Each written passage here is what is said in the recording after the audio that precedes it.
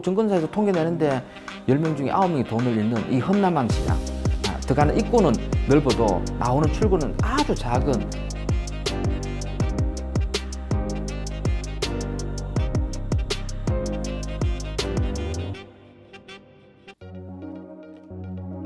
안녕하십니까. 오늘부터 여러분에게 20년 동안 이제 야전에서 실전 매매했던 그런 내용으로 좀 재밌고 쉽게 이제 주식에 대해서 설명하도록 하겠습니다.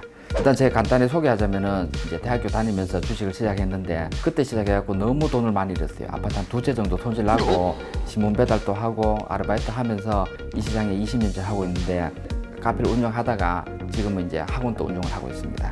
주식 같은 게 과연 뭘까? 저도 사실 처음에 주식이 뭔지 잘 몰랐습니다. 책에는 좋은 종목을 고르고 또는 뭐 어, 성장성이 있다. 예, 이런 주식을 장기 보유해갖고 수익 내는 게 주식이라고 이래 나와 있어요. 예, 보통 사람들이 이제 주식을 이제 그거 종목 선정할 때 제일 먼저 하는 게요. 뉴스를 보고 하는 겁니다. 전기차다, 수소차다, 바이오주다, 뭐 철강주다 이런 뉴스 딱 나오니까 요 근래는 막 철강 철강이 없어서 너무 비싸게 팔린답니다. 아 철강주를 사야 되겠네. 희한한 건요. 내가 매수하면 내려갑니다. 이상하네. 그죠? 이래서는 안 되겠다. 나도 이제 공부를 좀 해야 되겠다. 뉴스 다음 단계가 이제 가치 투자입니다. 가치 투자가 이제 재무제표를 보고 이제 저표가 된 주식을 찾는 겁니다.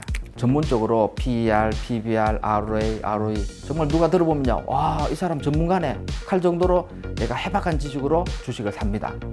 근데 여기도 희한합니다. 또 사면 또 내려가요. 예.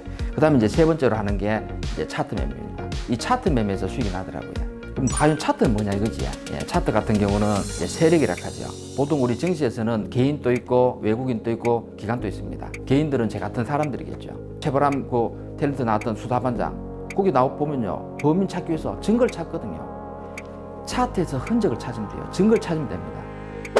제가 지금까지 20년 해보니까 가장 빠르고 가장 쉽게 예, 수익 낼 수 있는 방법이 차트를 공부하는 거예요. 근데 더 중요한 거는요.